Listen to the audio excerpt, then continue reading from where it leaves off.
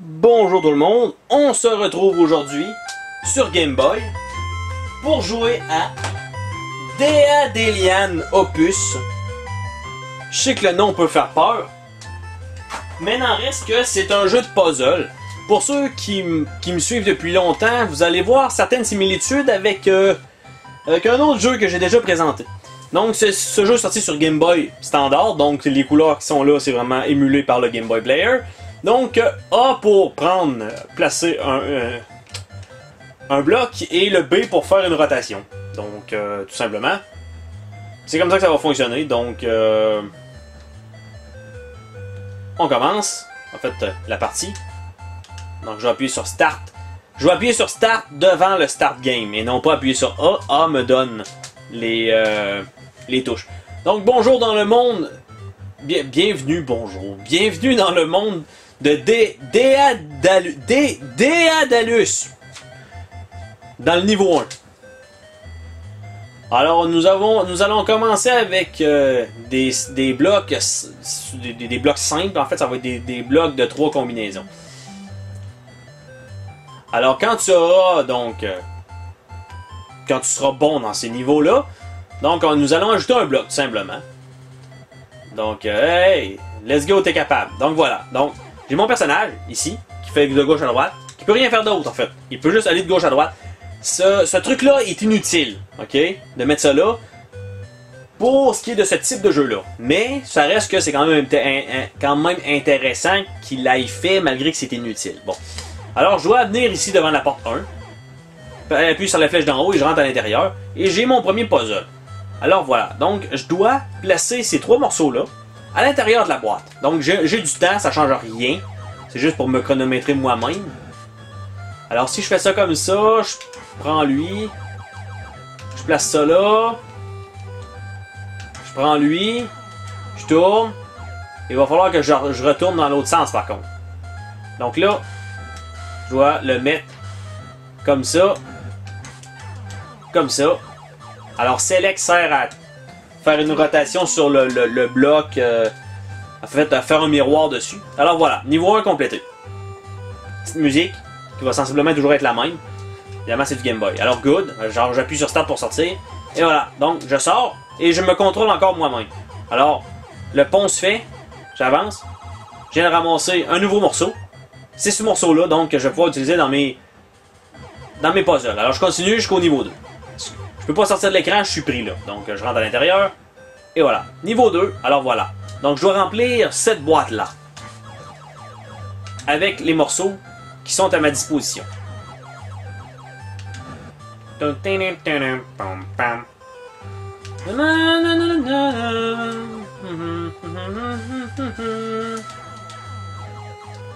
L'impression que ça fera pas. C'est pas la bonne technique. Alors, je peux toujours reprendre les blocs, bien sûr, que j'ai placés, comme ça.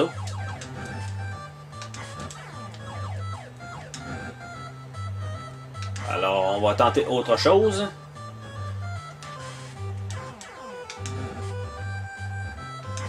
Ça non plus, ça ne fonctionnera pas, peu importe ce que je fais, parce que si je le place comme ça, ça rentrera pas. Donc, mauvais truc. Et si je place ça dans un coin comme ça, c'est impossible aussi. Donc, je vais plutôt terminer par lui. Alors, on va se prendre ça. Il y en a qui ont. Je sais très bien qu'il y en a qui ont vu la solution. Mais là, c'est moi qui joue. Bon.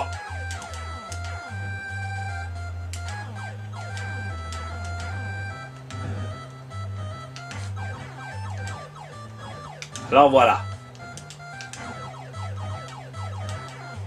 Et voilà. Petit puzzle complété. Alors on continue. Le petit ponceau et j'avance un nouveau bloc. Alors la longue barre. Alors voilà. Alors je continue. Et je rentre pour mon troisième puzzle. Je me rappelle plus comment il y en a. Je pense qu'il y en a un bon nombre. On tombe dans la centaine euh, facilement.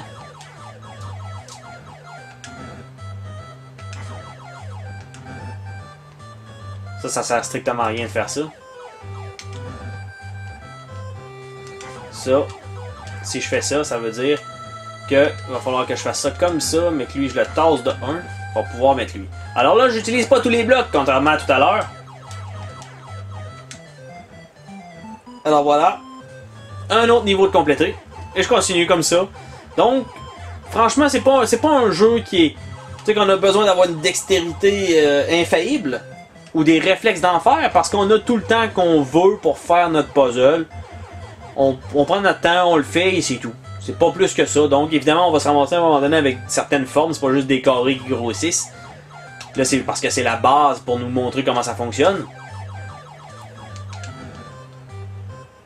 Mais au moins, ça fait différent un petit peu des jeux qu'on connaît habituellement sur Game Boy. Là, donc j'ai déjà utilisé ce bloc-là, donc ça vaut pas la peine que j'aille mettre ça là. Par contre, si je prends la barre, que je mets ça en haut comme ça, puis que j'essaie de me démerder avec le reste, ça fonctionnera pas, mais c'est pas grave.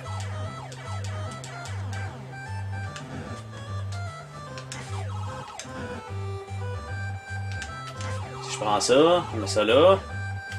Il me manque encore mon putain de bloc, qui est direct à côté.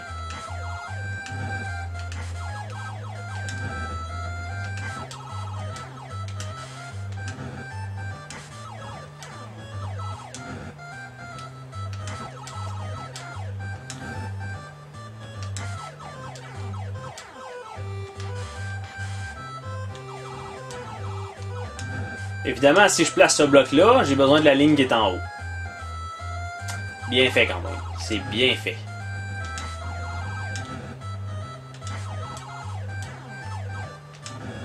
Si je mets ça là, je peux plus rien faire.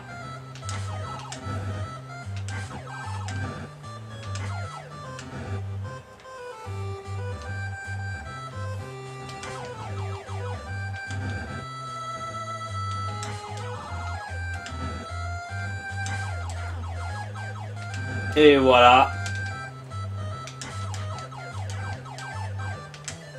Un autre niveau de compléter.